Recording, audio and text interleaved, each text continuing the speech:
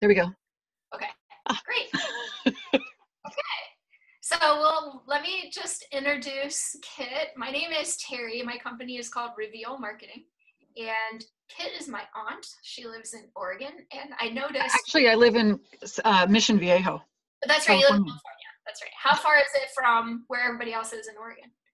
Oh, I don't know how many hundreds of miles, but you know, they're up it's a whole state it's a long a long way. I'm at the bottom of california not oh, you know i'm in orange county.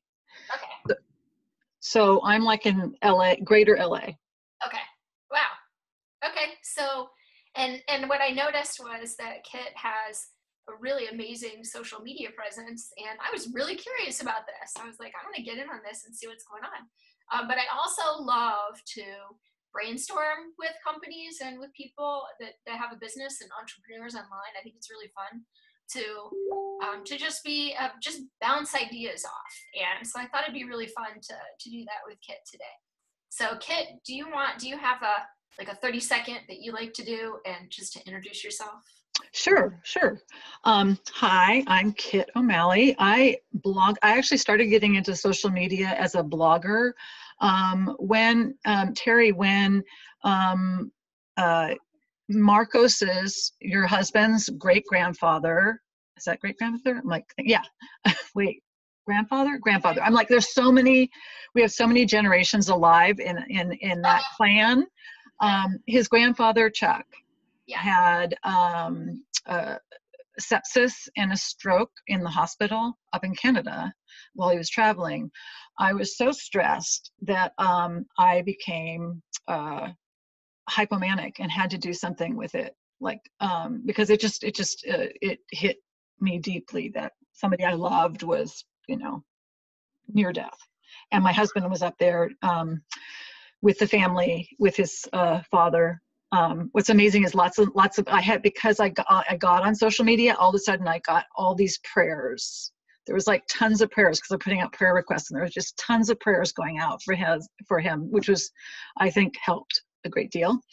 But i started to write because i needed a way to um, express what was going on. And um, um, when i said hypomanic i'm i have i live with bipolar type 2 mm-hmm. um, which is a, a chronic mental illness and requires medication and therapy and stuff like that. So and one of the things that happens when i become overwhelmed is i sometimes become either hypomanic or depressed depending you know what's going on. So this time you know in spite of taking medications and being very you know proactive with my mental health um, you know i still have a chronic illness.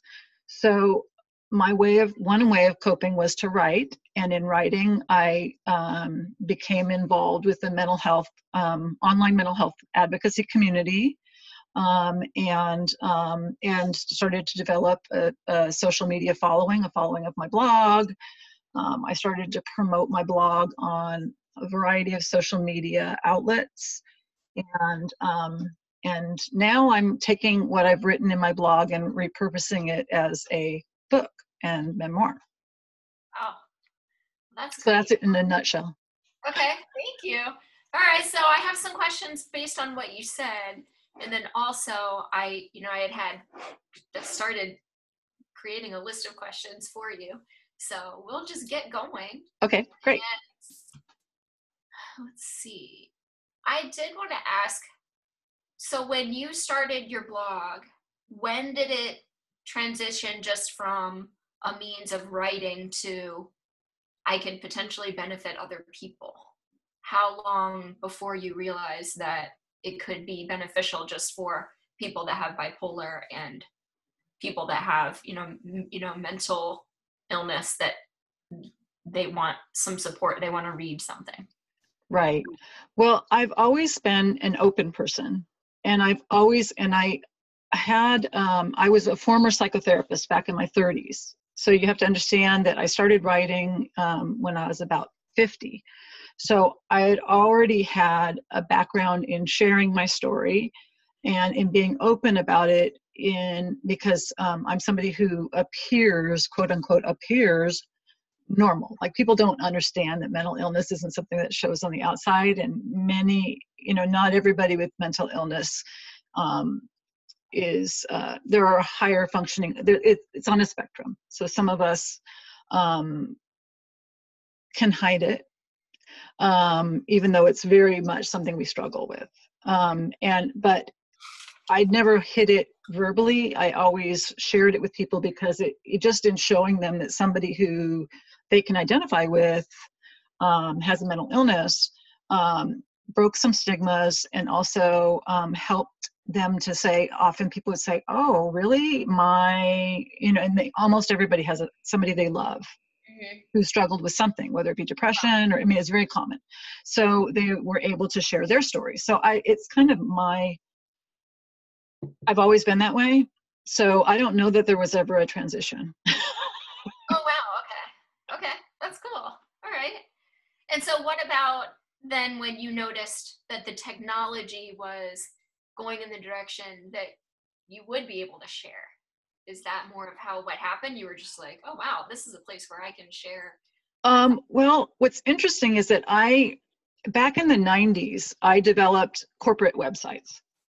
Um, not as my primary job but i would work for uh, uh when i quit when i burned out or had my breakdown at 30 um, i was a psychotherapist working with severely emotionally disturbed adolescents. And i had a breakdown and i ended up just in my recovery just taking a temp job um, and the temp job turned into a 10 year career in commercial real estate. And working in that career um, i um, would i'm just a problem solver by nature. So i'd go in and i'd say you don't have a website. You need a website. I'm not a graphic designer but i can get you i can figure out how to create a website for you that is clean looking. Um, so as soon as I registered my first URL, I, I in my mind I had kittomalley.com. Like I knew okay. one day I would create a website kittomalley.com and on it I would put my writing. So I already knew that like 20 years before I, you know, almost, I mean, I don't know the exact years, so my math's a little bit fuzzy here. But yeah, 20 years before I knew that I would eventually have a website and I would put my writing on it. I didn't know it would be a blog, mm-hmm. um, but I knew what websites were and I knew you could post writing on websites. Okay, that's very cool. Okay, and I wanted to ask so, when were you officially diagnosed with mental illness? Well, when I was 18, I was um, suicidal um, as a freshman at UCLA. Um, I never attempted it, but I had, at one point, I had the means, a plan. Um, like I gathered all the pills together in my dorm room. I had a plan for what time I'd written a note, and all of a sudden I like got outside myself. Like I, observed what I was doing, and I was like, "Oh my, oh my goodness, I'm actually going to do this." Wow. This is it's not just ideation. I actually so I um, sought help. Um, I had friends who, when I had had just ideation and expressed it to them in the past, had insisted I get help, and I had gone and wasn't helped by the psychotherapist I saw that time at UCLA. So the second time, um, I had a dear friend from high school who was going to UCLA to come and just hang out with me um, because I didn't feel safe by myself. And I went to my resident assistant, the RA, um, in the dorms, and I said, I need to see like a really good psychologist now, like today you know this is and um, i saw a cognitive behavioral therapist at ucla or psycho- psychologist at ucla and he helped me kind of rewrite some of the negative scripts that go on in the head of somebody with depression. Um, and so i struggled with depression um, no you know with with psychotherapy until i was 30 and then when i was 30 i turned also to medication like seeing a psychiatrist. Oh, first my doctor, just regular, you know, internist, and then a psychiatrist. Um, and I still was diagnosed with depression, dysthymia, which is chronic depression. Um, I had a reaction to medication, and I did have a, a week of mania at 30, but they weren't sure if it was. At that time, they just thought it was a reaction to the medication so they kind of changed my medications and I was stabilized. So I lived with that diagnosis of depression until um, we had our son, and our son was a toddler, but I was still breastfeeding him. And then I started having these euphoric feelings of um, being called by God to this or that. And, and then I recognized whether or not God was calling me to one church or another church. There weren't crazy things actually that I felt God was calling me to. They were very healthy and wonderful things. But I recognized that euphoria as being a symptom of mania or hypomania. And so I um, uh, called the advice nurse for our um, um, insurance, and she said either see a psychiatrist today or go into an emergency room. Mm-hmm. And so I went into our regular doctor because I couldn't get in to see a psychiatrist right away. Um, and she, um, until I could get in to see a psychiatrist, she put me on a mood stabilizer um, we abruptly weaned our son, or I abruptly weaned our son with help of, and that's a great, I have a great story for that actually, which I'd like to share. And that was, that's when I was diagnosed um, when I saw a psychiatrist with bipolar type 2. Um, now here's the weaning story because that's, this is so sweet. Um, I, I was not because I believed in extended um, uh, nursing, but just because I'm soft at heart. Um, our son was like 27 months and still sometimes nursing not for his main food but like for when he when he you know just like to go to bed or you know stuff like that and so um so he had never had mom not come home and we decided the way i, I would wean him because the medication i was going to take was not okay for oh, nursing was for me to just spend the weekend at my parents house and that my husband would spend the weekend. So it was drizzly rain and he he had never had mama not come home and he didn't believe i wasn't going to just come back like go grocery shopping and come back. So he insisted that he sit near the driveway with my husband to wait for me to come back and so my husband nick you know your uncle nick sat near the driveway with him and then and then uh, he talked to me he's like oh it's drizzling rain why don't we just get underneath the you know the, the, the overhang and like, okay, let's just get up into the door jam. Now, why don't we try waiting for mom going on the stairs? Because he's, you know, and then and then up the stairs, and then in the master bedroom, but still looking at the front door until he finally fell asleep.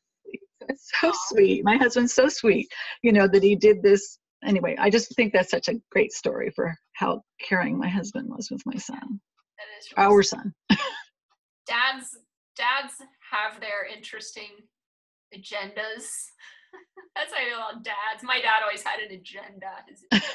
Marcos is like that too with the kids. He's got this funny agenda going. But then then they just do just really cool things. And even my dad now, he loves hanging out with Marcos. And it's so cool to see them hanging out together. And I just not something that I would have imagined when I was, you know, 10 or 11 years old. So so yeah, dads are, are really special and important. And I was really curious how how do you maintain a relationship when you're going through something like that? I don't know. I've always been really self-conscious in relationships and so kudos to you that you've been, you know, you've you've held a really strong relationship with your husband that whole time and but um I don't know, that might even be its own webinar with Right. Right. It's so, uh, go ahead it's actually the divorce rate among people living with bipolar disorder is generally much higher than you know the general population um, and we've had our struggles um, you know um, my husband is uh, he's an engineer and i think of engineers as being kind of worst case scenario people because they have to always design for the worst. So yeah. so when we were first dating he's like you know here i have you know this anxiety about things going wrong and he's had a lot he'd had a lot of losses of people and here you have the history of depression and i worried if i worry about losing you? And i'm like it's never going to happen. That's not going to happen because i always get help. I'm very proactive with my mental health. I've always been. So it's that's not going to happen so um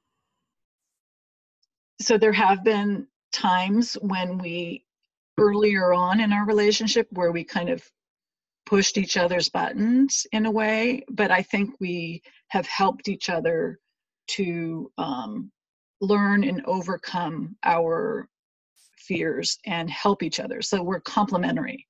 And um, honestly, although there have been in in a, in a marriage, there might even be years that are hard years you know, just because one or the other of you is going through a difficult time. Um, but it's so worth it to go through those years and not just to give up because I couldn't have made it. I don't think I could have made it without him. Uh, he's my rock, and he um, he's hugely supportive. Um, and I think I knew even um, when I had my breakdown at 30. At, before that, I lived by my. I mean, I lived with a boy, boy a couple of boyfriends in my 20s, but I lived most of the years of my 20s by myself. Hmm. Um, and um, I mean, I didn't meet my husband until I was just just two weeks short of 31. Um, but I realized after my major breakdown at 30 that it wasn't safe for me to live by myself. I needed somebody to kind of observe my behavior. Um, because if it weren't for a friend calling my parents and saying, Kitt's in trouble, she needs you now. And she also called the priest at the Episcopal church that I attended, and she said, Kitt's in trouble. She needs help now, and I can't help her. It's beyond what I can do. Um, um, and I thank her for it. Thank you, Julie. so I've lost touch with her, but she really was a lifesaver. Um, I mean, my parent, my dad just got on an airplane and came up to me. I was living in the Bay Area at the time, San Francisco Bay Area, and um, and my priest came right over um, and with uh, someone who had bipolar disorder because that's what they saw I had, even though at that time I wasn't yet diagnosed it. And he was like, "They weren't you weren't diagnosed that? That was obviously what you had." But but they came over and they helped. Um, so um, I don't know if that was if that answers your question. Mm-hmm. Yeah, thank you, thank you. That's good. Yeah, okay. I wanted to go back a little bit to you said you you had mentioned an advocacy group. Is that right? Like mental health advocacy?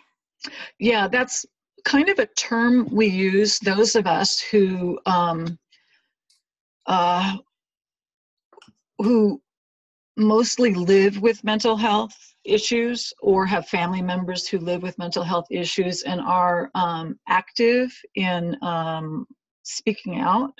We tend, the term mental health advocates are, is the term we call ourselves because we ad, are advocating for mental health. So mm-hmm. it's that's not a group per se. Okay. They're, they're um, it's more a, a title. Okay, that's good. Okay,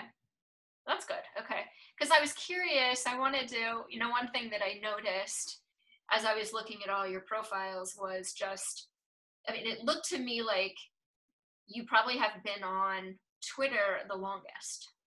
Oh, really? Because you have a lot. You have a lot of followers on Twitter. you know, it's not because I've been on there of the longest. It's because um, I actively uh, sought to develop those, um, to grow that at one time. And then once you start it, it kind of just grows on its own. yeah. So, well, um, I noticed too that you have almost as many you're following almost as many people as are following you which generally i find that there's like a about a 50% you know it's like you're if you're following a thousand then you usually have about 500 followers so usually it's about half but with you i noticed that it was almost the same and i was like well that means that she did a lot of hard work because that means you had to go in and like that and a lot of people are like well i'm too busy i can't do that i'm just you know, once I hit 5,000, I was too busy to do it. So, um, so that was really cool to see that you had kept that up and, you know, you kept doing that. And, um, but so what were you on first then?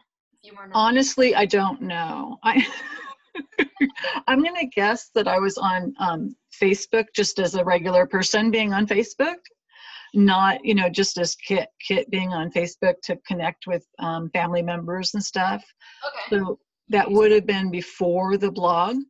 Um, the stuff in terms of Twitter and Google Plus and LinkedIn and all that kind of stuff probably um, I mean, I'm just going on my memory, but probably as I went through, um, I did a WordPress, um, you know, the blogging 101 course. Now they call it now they call it Blogging University. You can go to WordPress and just put in Blogging University, mm-hmm. and um, and take their uh, you know online how to do this and they kind of by step by step recommend you know how to build a following and how to build a social media presence. And then also i just in talk i i was active i'm still active but not as much in person but i was um, uh, going to writers groups.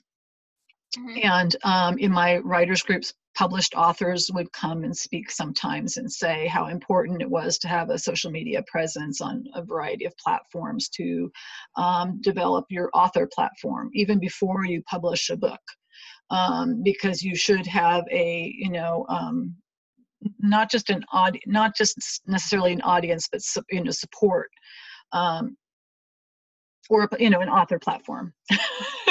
So I mean, you have to have, you have to have some exposure. So because you know that's you do the the work before you have it it uh the book done. Mm-hmm.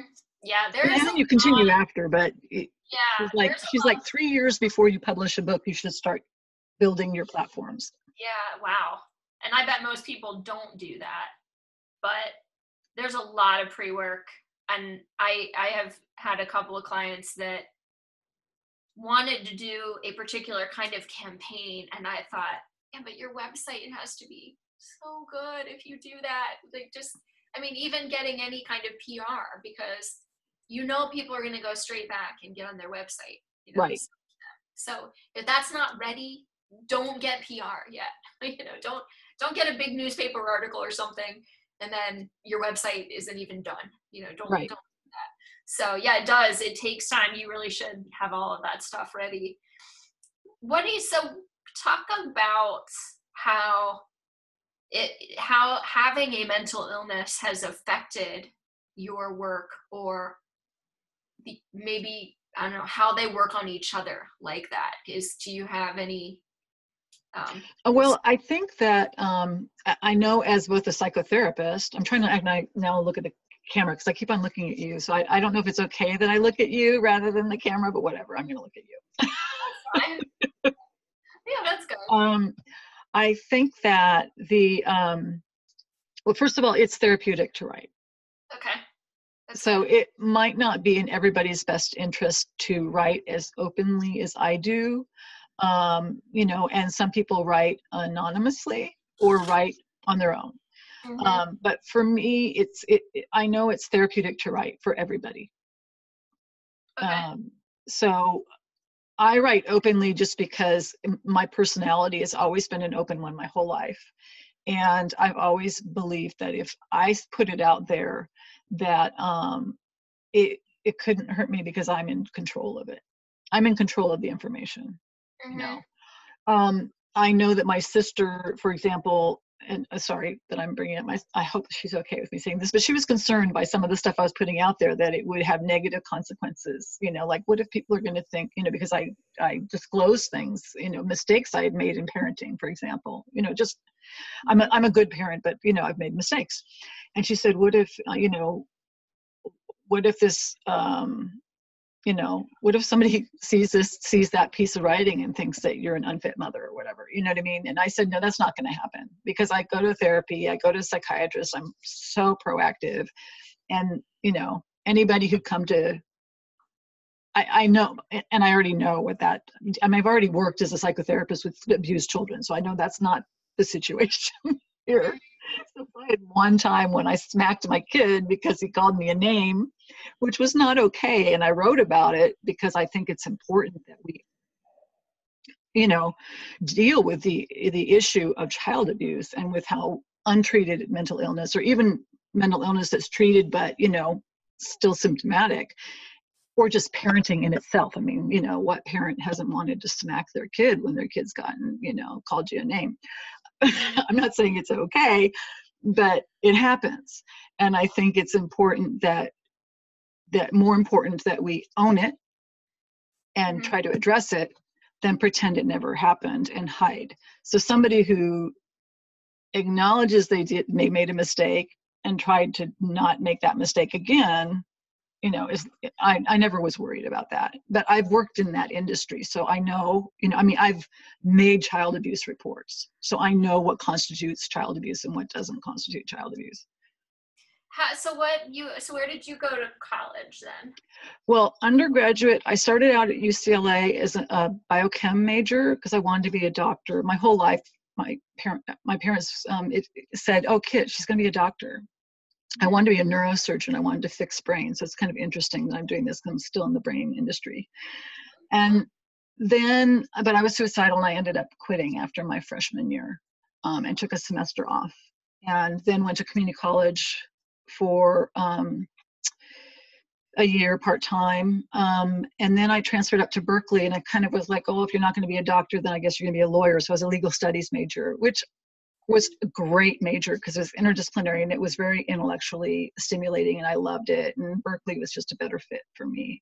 Uh, I was a rabble rouser and kind of politically act, political activist and stuff. And then so it's that kind of I'm kind of I kind of fit in there. Um, and then um, for grad school, I never really.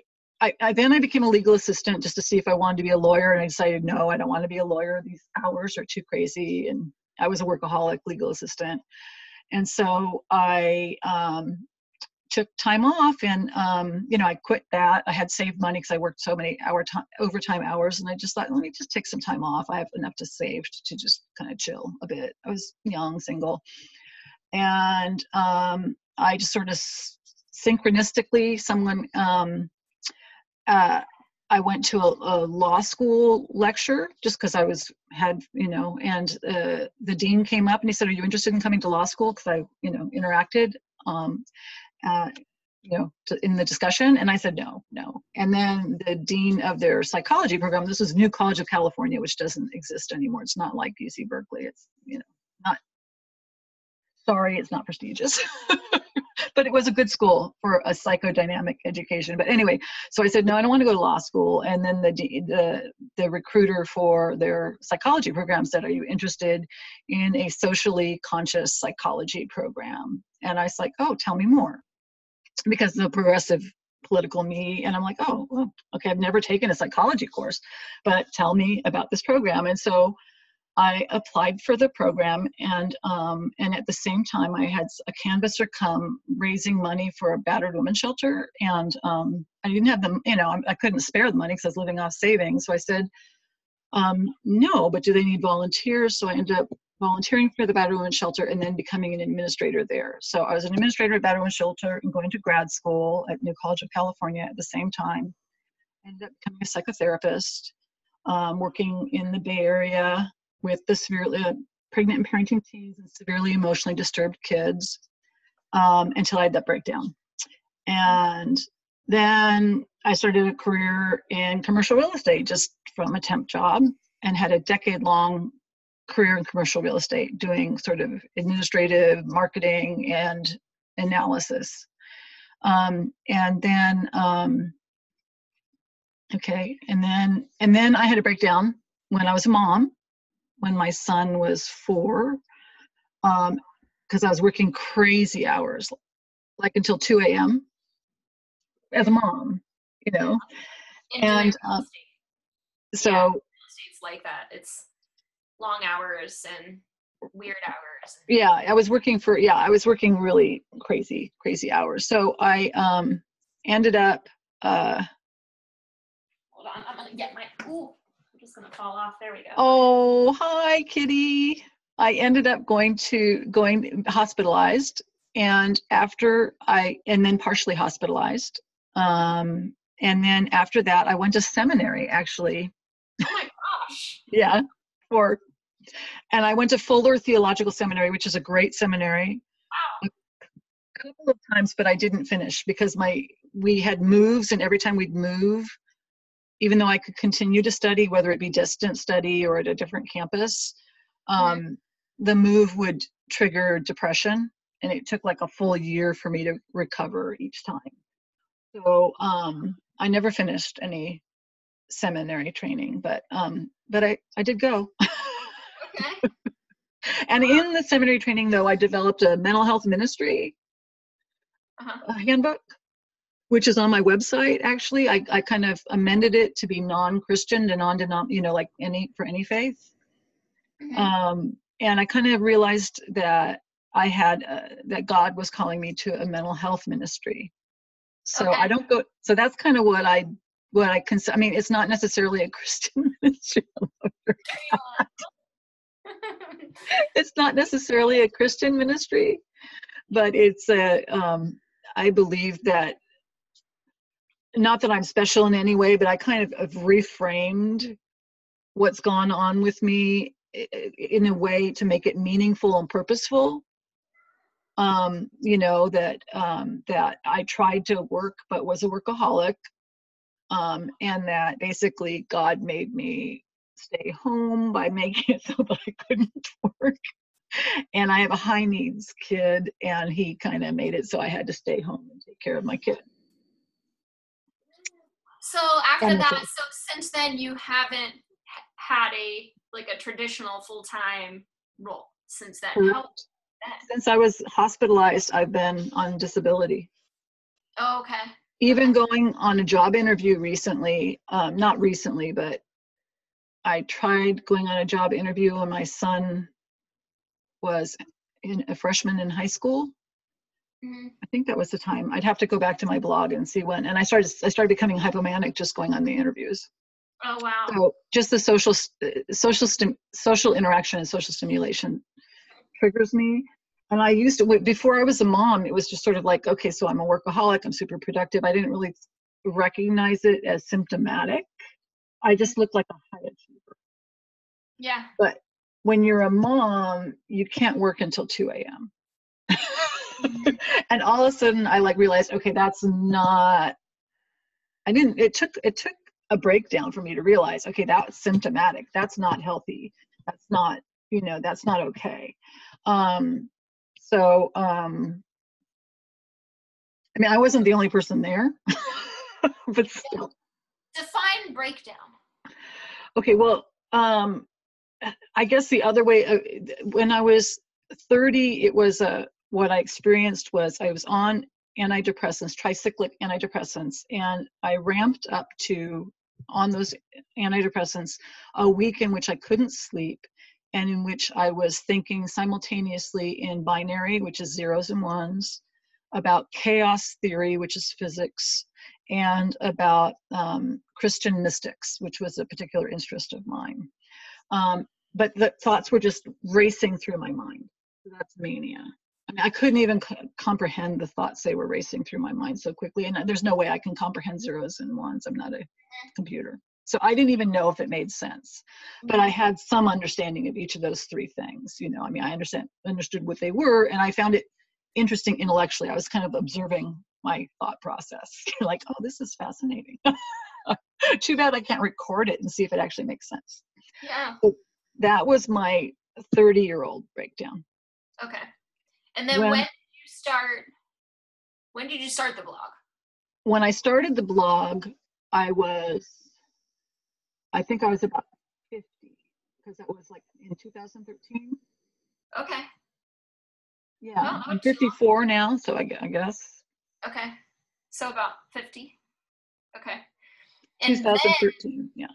were you thinking that there would be a book that long ago, or was that later? that I've always kind of, um, yeah, I thought that I could um, develop a book by writing. Yes. and how much you have a lot of you know i noticed you have a lot of followers do a lot of those people reach out to you do you communicate Um, well, as a blogger, I um, you can choose to allow commenting or not, but I interact with comments, and so I have a lot of commenters. So yes, I have that. I don't. I had my contact page up once, but for some reason, I just feel it feels intrude intrusive to have emails come to me. I don't know why. It just I don't like a whole bunch of people emailing me directly, and for them to down my email when I respond. So I prefer to and I also don't even I don't like direct messaging people either. I prefer everything to be out in the open. Um, so Nice. so um, because I don't I'm I'm I'm protecting my own boundaries that way, um, especially when it's a man, you know, and uh, men often get really inappropriate or talk about oh you're beautiful or whatever, and I'm married, so you know it's just I don't like that if I keep it public, then I'm I'm sort of protecting my boundaries. But it's harder, you know. Some people aren't able to then share their story unless they come on as in an anonymous way which they can do on the blog you know they can they don't have to share their actual name. Um, so um, so yeah i mean i've had people both through my various social media presences and on the blog reach out and i've had a lot of um, interaction with people and um, and you could say i even counsel people but i don't I don't, I do have my, I've maintained my license. So I actually am a California licensed marriage and family therapist, but I do not um, consider what I do part of that practice and I don't charge money for it and I don't want to get into all that right now. you know, I don't want to do, I don't want that. Like I don't, you know what I mean? I, I, I just, I can't do that. It's just too much. And you never set out to do this for a living. It was just something fun that you wanted to do. It was never a, like, oh, I could do this for a job instead of having a traditional job. Um, no, because I knew it wasn't really um, realistic to make enough money to do it. Um, uh, very few people who do creative writing make a living doing it. Um, I have tried doing some affiliate marketing and having ads on my website, and it wasn't enough money to make it worth it. It was like laughably small amounts, yeah. and and so I decided not to do it. And also, I don't want to dilute my brand. Mm-hmm. So um, my brand is being a mental health advocate, and I don't really um, I want it to just be me. So I want to be completely in control of the content that's on my site. The only thing I've really agreed to recently is a link to, um, and people ask, ask me all the time to add them to my resources page, and I don't I don't do marketing for other people. So no, I'm not going to add for free a link to my resources page. It pisses me off. Okay. Even so, because usually it's a veiled, like uh, you know somebody who's getting uh, paid for referrals or something to treatment mm. centers. Um, so um, but i do have a link to uh, uh, clinical trials because i actually believe in science.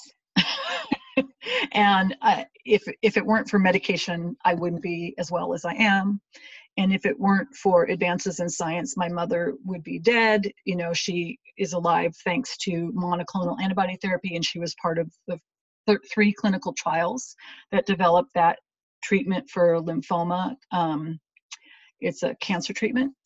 And um, that uh, has antibodies cloned that attack cancer cells. And so i'm a huge believer in re- scientific research. Mm-hmm. So that goes back to my biochem self. yeah. So what about the future then? Because what what's the book? What is the book going to be called? I'm not sure what the book's going to be called, but I have a feeling it's just going to be something like Kitt O'Malley, um, my you know my mental health blogging journey or something like that. You know what I mean? Because so much of my brand is myself, and I mean I always see it that low. I mean I created that logo, the dark green with the the you know Celtic font Mm-hmm. And um, and uh, I mean, I didn't develop the font, but uh, um, but all the kerning and everything is all me. Size, you know, all that kind of stuff. Um, and uh, and that's, I mean, there were. That's kind of, I don't know, my branding, I guess. So I kind of see that kind of on the cover, even though I don't know if that's a good cover. I see like that and me. so I don't know. We'll see. Okay, so your book, and you see that on your book cover. I see it even on my book cover, yeah, because I don't necessarily want to write a bunch of books. You know, if I write others in the future, then it'll be something different. You know, so um, I, I mean, what, some a couple of pieces I started doing towards um, later writing was fictionalized um, autobiography of my younger life. Um, and there's also just my whole 20s. You know, I mean, I don't talk about like my relationships and I don't talk about, um, my childhood. I moved a lot. We lived overseas. We lived in Saudi Arabia for five years. Was I have a like we you know I've so I could take any p- piece of my life and and fictionalize it into something maybe as in a creative way. Um, but this is just uh, like memoirs that you have to fill in a little bit, like historic fiction kind of thing. Yeah, kind of. Yeah. yeah. Cool. So what about when so so you had the blog and you're I know you already said you're 55. So definitely not a millennial. You know, my I hear about the millennials all the time. Oh my gosh, why they always get so much attention. Like just leave the millennials alone. Um, but you have really embraced a lot of social media. And you know, it's one thing to have the blog, but it's another thing to understand the impact that being on Instagram can have and being on Twitter can have. When do you give me some background on how you decided to branch out in that direction and how that impacted your presence, your blog? Okay. Um, first of all, I'm 54, I think. I think. Okay. I'll be 55 in August. Okay. I was born in 63. So not that it really matters. Who cares? I'm in my mid 50s. I don't have any problem with being in my mid 50s. Um, I, you know, whatever. I just don't like this neck. That's all. Yeah. Um, but uh, um, you know, I I actually always was into technology. You know, I um, as a as a legal assistant, I was a, a database manager. Um, when I worked at the Battered Women's Shelter, I did their new first the first newsletter they had under my executive director was created by a graphic artist, and the executive director didn't like it because she thought it was too slick and corporate. So she had me do the rest of the newsletters. So I did desktop publishing, you know, and I um, of the of all all the kind of marketing collateral we used there um, as as an administrator, and then and then when I um, worked in the for-profit world, um, I you know created websites and did email marketing and and direct mail collateral um, and would um, and created you know I already said created website. So I was already I already knew the importance of um, technology for marketing um, uh, because I had done it professionally. Um, and um, so it wasn't it, it, wasn't a big leap. You embrace you embrace the current technology. Um, I I uh, I'm kind of a geek, so that you know I I I'm I'm into that. I mm-hmm. don't embrace it all. Like I'm definitely not a Snapchat person or you know WhatsApp person. I mean, I'm, i definitely focus on. Um, I focus mostly on Instagram, Facebook, and Twitter.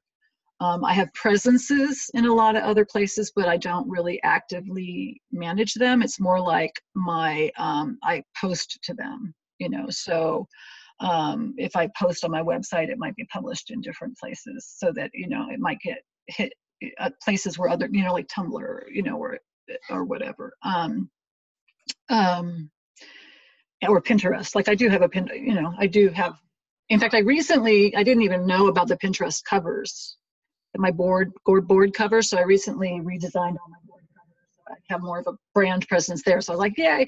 So, so, but um, but I don't, you know, uh, I kind of just put stuff out there I don't like interact on those as much. I can only do so much. So yeah. Well, one thing I noticed, and I I don't think that I saw it on yours. I have had a couple people ask about how to get verified on Twitter. And what I noticed on Twitter was that you have to have probably 10,000 followers to be verified if you don't have more than that they're not they're they're not going to bother with you they have they have too much to do. So with you having 20,000 you could probably i'm pretty sure you could do that verification process. I tried twice to be really? verified. Yeah so i don't know what i'm doing wrong. So. because i didn't i would i just thought that you know once you got up to about 20,000 that they wouldn't fight it you know like before that they're like well you don't have enough even to worry about it. But Um, but that's interesting. I can take a look and see what the qualifications are a little bit more. It's real. It's like there's not a whole lot of information about it. It's just like click this button to get verified, and Twitter right. will get back with you. So apparently, when you tried to do it, they came back and said, "We're not going to verify you." Yeah. That's weird. Okay. Um, and then my other question that I was thinking about was, um, have you thought about having a Facebook group where people could interact and talk and share? Um, or are you on one that you're that you help with in some way? Have you done? I honestly, this is. I'm I regularly leave Facebook groups. I'm a member of a many Facebook groups, but it's just too. Um, I'm kind of a little overextended as it is, mm-hmm. you know, and should spend more time writing and less time on social media, honestly. So okay. I don't know that I would do a Facebook group unless it was like after I wrote my book. Mm-hmm. After it was published yeah. and I had a little bit more time, maybe then. Yeah. Not that I'm really writing every day, but I know I should be. so. Okay. so what how how long do you think before the book is ready? Well, I have um, a writers conference in May. I'm going to, um, uh, um, and I was hoping to have, um, a, you know, a completed draft. I mean, I do have a draft now, but it's it's a work. I have a work in progress now. There's it's very kind of cut and paste it part of it, mm-hmm. um, and I that I need to rewrite um, at least once. But even if it's just in a really rough form, I'll have that weekend to really work on it. So I, my goal is by the end of this year to have it ready for publication. Mm-hmm. So I guess that would be in 2019 to okay. publish it. And who do you think will be reading? Who do you think it's audience is going to be? I think the audience would be either people who live with bipolar or um, those who care for someone with bipolar. Um, although I do have a lot of friends who are and identify with people who are writers or poets. Um, and some of my writing and my posts are more writerly. Um, but um, I honestly don't care. and what I mean by that is it's in and of itself a big accomplishment to write a book. Mm-hmm. And there are a lot of bipolar memoirs out there. Um, oh. And I've read a lot of them, and a lot of my friends have written them. You know, so I, I'm I'm going to be in what I and maybe it isn't a glutted market. Maybe it's just I know a lot of people who've written those memoirs because that's who I hang out with online. Um, so I don't necessarily expect to have to make a lot of money or to have a lot of readers. Um, but I want it to, I don't like, but when you write, here, let me try to figure out how to write, say this. When you blog, your older writing gets lost. Even though it's still there, it's sort of like you, people just see what's present. And even though it's categorized and has tags and all that kind of stuff, um, and and even though I can go back and share stuff or re reblog it, which I probably should do more, it gets lost. So in writing something that rather than it being reverse chron, what I'm going to do is do a narrative introduction that sort of gives the history of my mental health journey as I kind of shared it with you from 18 to now briefly and then gives rather than reverse chronologically, but chronologically selected blog posts. Um, I'm not going to post everything because some of the things were um, go in, that cut and paste of the narrative, and some of the things were more mental health information rather than standalone pieces of writing. So that rather than so that they'll go from day one of my blog journey to you know day whatever I decide to wherever I stopped. I guess I stopped at the end of the year, you know, in September uh, in terms of my. Okay.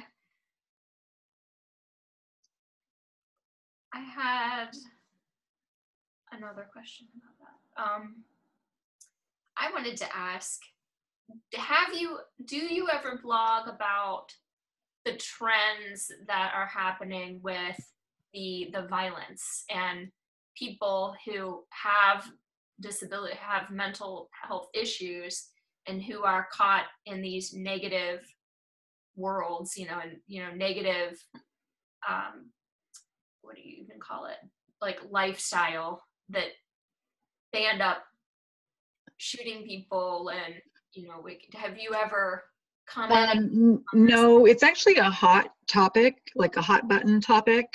Um it's not a lifestyle definitely. Um there's two issues. One is the issue of violence um period.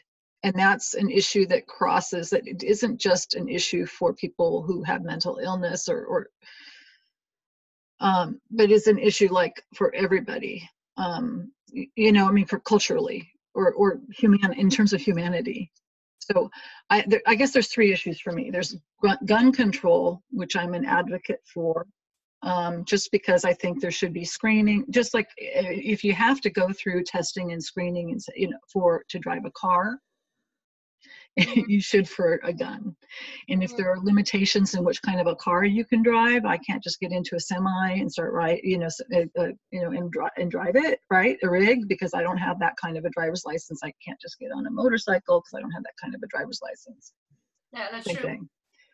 Then there's the issue of untreated mental illness and lack of resources those there are people not everybody but it's a lie for us to say that um, mental illness cannot result in in violence. I've been violent due to symptoms of my mental illness.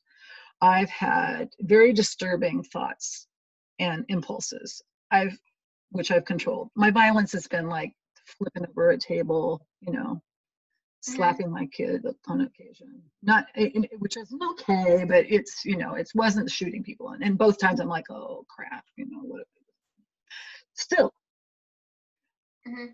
Then there's the issue of most you know people in the who are mental advocates always point out that most people who are mentally ill are victims of violence rather than perpetrators of violence that's true but which is true. Most most people with mental illness don't go shooting up schools, but those people who did shoot up the schools, should they needed help. Mm-hmm. Um, and how we help people and and and one of the problems is we have a deinstitutionalization and so that there are a lot of people who um, probably should be and and and people are going to get very upset like there will be mental health advocates who get very upset at the idea of forced treatment because there have been abuses of people in the past but some people need treatment and will refuse treatment mm-hmm. so yeah, i think it's awesome that you it's really amazing that you you saw it you were able to step out of your your that thought process and look at what you were doing and I would say, I mean, those people don't have that that ability. Right. It just is amazing. And I was curious if, because you had said you had depression and bipolar. Is it? I mean, is it possible that the bipolar made you able to do that? Because it. What What's the definition?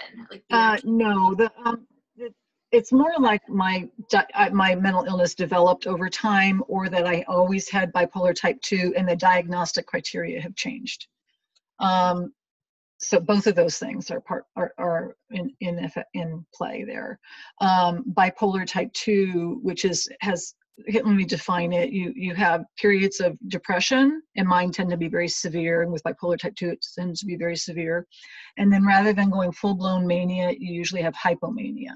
Now, that week I talked to you about, that's full blown mania, but it was very much triggered by medication mismanagement.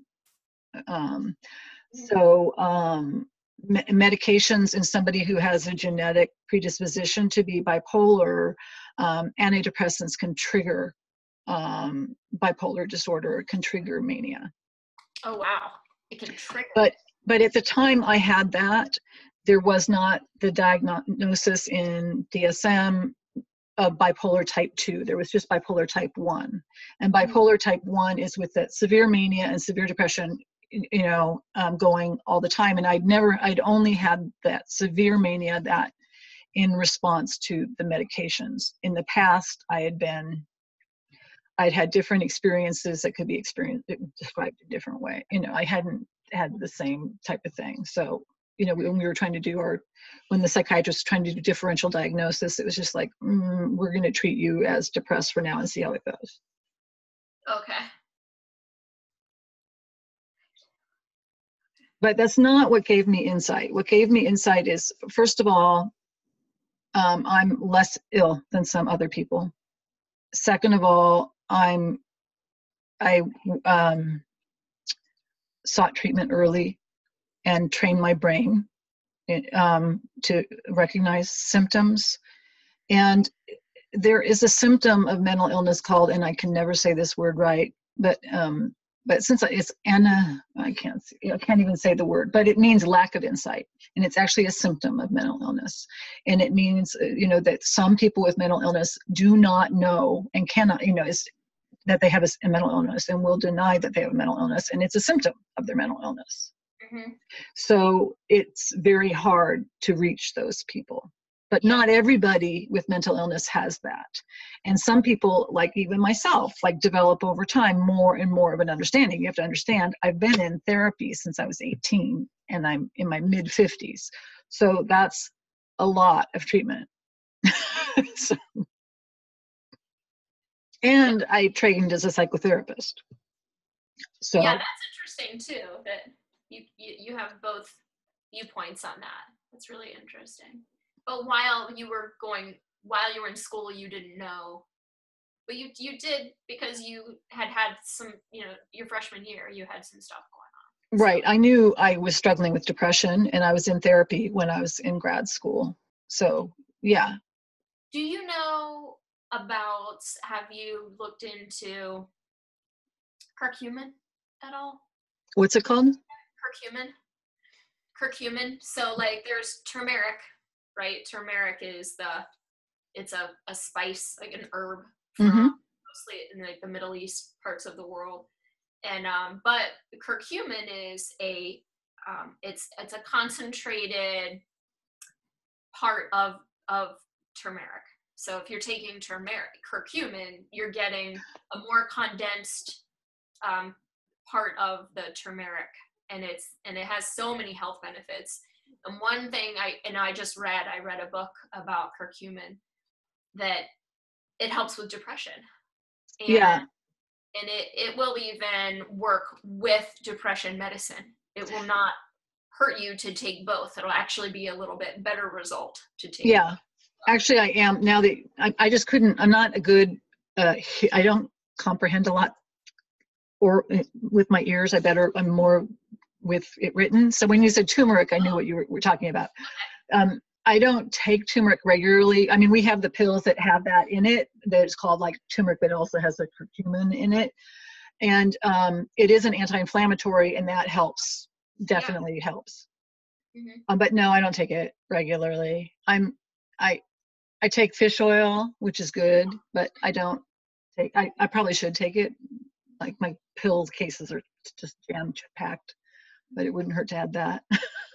well, the doctor that I I just recently read this book. I might have it right here, and I can show. I just while you're looking that up, I just want to point out to if anybody's watching that you have to be careful and talk to your doctor before taking certain herbal supplements because things like St. John's wort is an antidepressant, and if you take it, it can and are taking medications, you can have interactions that are not good. So be careful. But turmeric is different. Turmeric is safe. Yeah, curcumin. And so this is um, Ajay Goel, PhD. This is his book. This book. Yeah, cool. I got this for free. They were. I was at a health food store. I didn't even have to pay for it. They just said you can have it. If you're gonna read it, you should you should take it and read it. And he recommends definitely talking to your doctor. He even has little parts of the book where you could say just print off this one page and it's a great way to to tell your doctor about it and to talk to your doctor about it.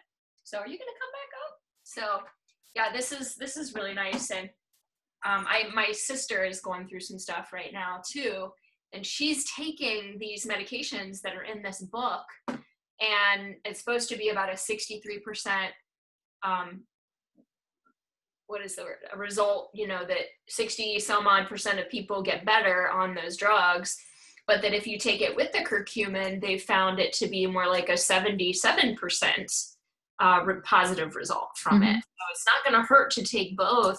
Right. And i guess the curcumin by itself was about the same as the drug by itself. So you know so it's really good research and i'm i love natural remedies. I don't know if I'm great. I don't know. I guess I'm I'm probably very positive when it comes to that stuff. Probably like a sucker, but uh, this is my end. This is my my take on that. I think that natural stuff, natural stuff, are chemicals just like any other. And so when people think that in taking nutritional supplements, they're getting away from big pharma, well, you're just going back into big nutritional supplements. I mean, it's a big, it's a huge business. It's a huge unregulated business.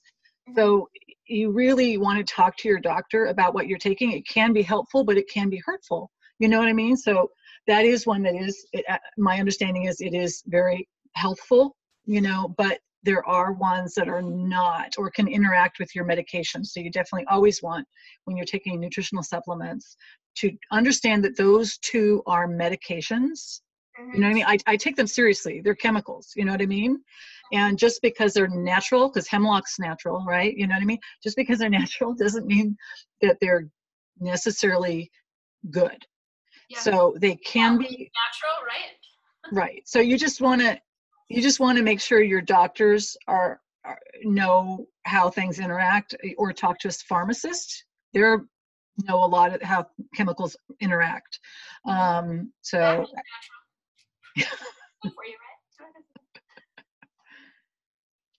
All right. Well, are there is there anything else that you definitely wanted to talk about in this video? Something that we haven't hit on that you thought you'd really like to talk about? No. Okay. Because I we're almost at the hour. Yeah, it's been about an hour and ten minutes. Yep. So pretty good. And um and I I could keep talking to you for a really long time. So. I know, I know. We but, could go offline and just keep on talking. yeah, yeah, we could do that. We could take off the recording and and chat for a little while. And um, I'm really bad. I, I I haven't been able to embrace FaceTime, and I see it in movies a lot where people are just on FaceTime with their significant other and they're talking and I haven't really embraced it like that. It's kind of weird. I I don't know why I haven't been able to just do everything FaceTime you know everything face to face on a device or a monitor. People use their computers like that a lot. I rarely i mean i would say i never do stuff like that. Yeah i don't either. And in fact i know once i called my sister from my parents place and she's like don't ever do that. Please contact text me first. Contact me first so i can put on makeup. And i think that's one of the reasons like, i don't want people to see what i look like usually you know what i mean? And um my husband facetimes uh, his parents all the time you know uh, because he likes to you know to see them and talk to them. Um, but yeah i don't I, I don't use it often and i think it's because i i usually just don't even want people to see what i look like. And i'm not even i don't even talk on the phone as much as he does you know what i mean? I'm i'm i'm on the computer all the time mm-hmm. so i think just that's the written the written like, word i'm more of a written word yeah well, let me. So I did want to go back a little bit because I remember you saying about your blog that things get lost and and being it more of a online marketing i'm going to say an advocate you know because i i encourage people to do all of that and an enthusiast i think that's probably a way that i should put it that i i don't want you to feel like that about it. You know you say it gets lost and reblogging is great. Yes. you know going back out and refreshing it is awesome. But you know if you've got it built really well with those keywords the right people are going to find it. And it's really weird that you said that it goes that it that it gets lost because i feel the exact opposite. I feel like if you're putting something out there eventually somebody is going to see it and the right people are going to see it and it's going to build up. That's how i feel about it. Like everything that you've done in the past is building up so that what you're doing right now is even more powerful. So keep keep doing all of that. And i am um, and i guess you know like one question would be do you ever want you don't ever want to monetize it? In even your book you'll the the i the blog no the book? Yes. So i can see marketing my book on my blog and including links to you know amazon. Um, but i just i tried uh, monetizing it and i just the, the, amount of money i was making wasn't worth it. Mm-hmm. wasn't worth the the um i just like the clean look. Oh well don't know that i would monetize it that way. I mean as far as just ads i don't right. know that i would do that. I would come up with something different. So for example what we're doing in cincinnati now and it hasn't even started yet but i'm in conversations with a woman that runs a bloggers group. Mm-hmm. and so what we're going to start doing is you know with my clients my clients are small businesses. They're constantly trying to find ways to get exposure. They're asking me about seo well you know how do i get up at the top of google and some of that is backlinks. So it, we're co- collaborating with these bloggers and we're going to be introducing these bloggers to small business owners and we're going to start a, uh, a package option where business owners can decide how much exposure they want. And they can say well for a hundred dollars i'm going to get three links in three blogs. And so then we're going to find the bloggers that make the most sense. And then we're going to go back to those bloggers and say this you know these are the businesses locally that would just like a mention you know that would just like a you know something out there for seo purposes and backlinks. And so it's all a very on a very local level.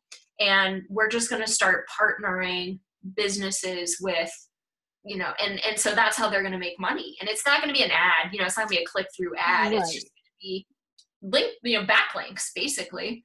So um, we had a i was at a prsa event the other day. Prsa is the public relations society of america. And i'm a member now. I've never been a member before until november. I love it. They're they're amazing people. They're really fun a lot of energy. They're very supportive. And that we were at this big event and the PR director for the aquarium was there, and our aquarium is huge, It's like really big organization, Cincinnati.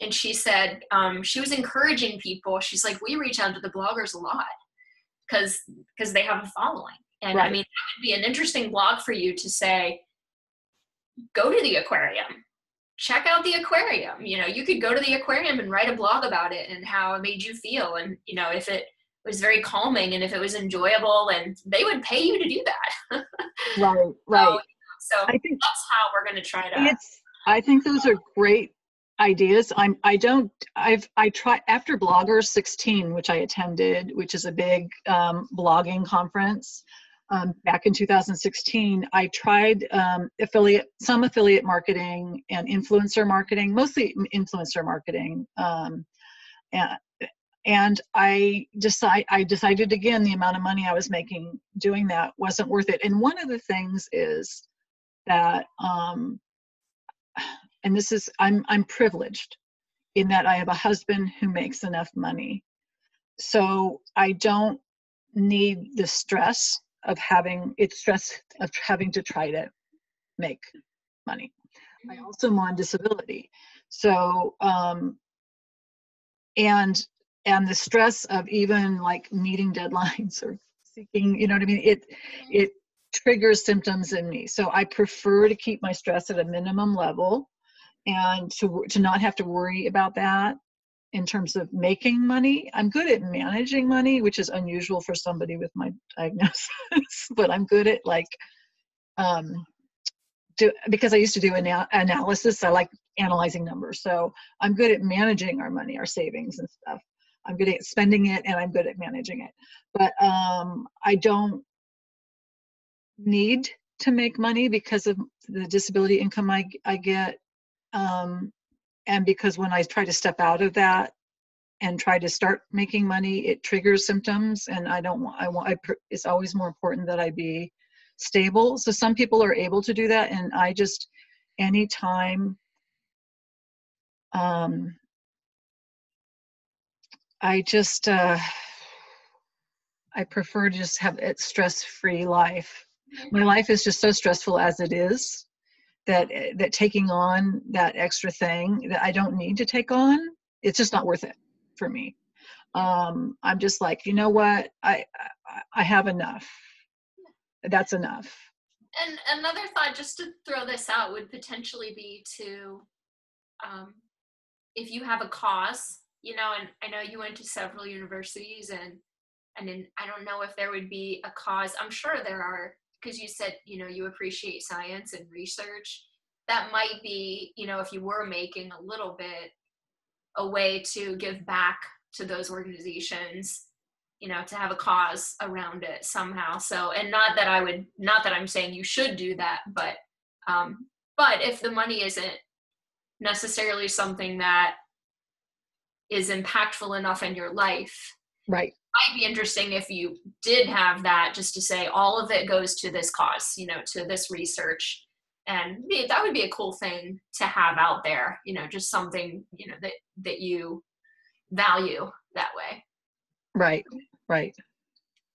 Okay well i am gonna i am gonna stop the recording because we okay. went on this so but um but it's been so fun. Thank you so much Kitt for being with me today and i learned a lot and i took a lot of notes and i so appreciate your time and oh that you thank you. with me today. So all right and we'll stop the recording but okay. we'll, we'll hang out. We'll, we'll okay. we won't say bye already